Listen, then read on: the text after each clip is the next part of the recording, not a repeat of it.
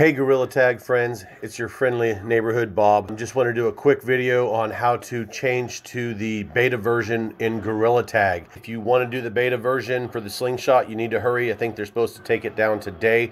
The same action should help with switching to beta versions in the future as well. First thing you do is you go to the app, um, you're going to hit your search button, and then you're going to type in Gorilla Tag pops up, hit App Labs, it'll say View Apps. Then you're going to click on the app, hit OK. You're going to scroll down and you're looking for where it says versions. And right here it says version uh, 1.126. It, it jumped, so I got to scroll back down. 1.126 right there in the middle.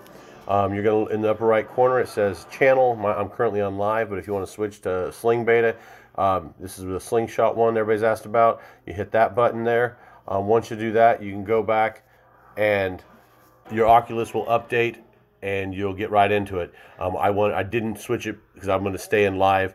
If you want to go back from Sling Beta um, to live, you have to come back in here, do the exact opposite, go from Sling Beta to live, and then you'll actually have to uninstall and reinstall your app on your um, Oculus. Um, but yeah, it's real simple, real easy. Um, give me any comments or questions, and um, have a great day. Thanks. Bye.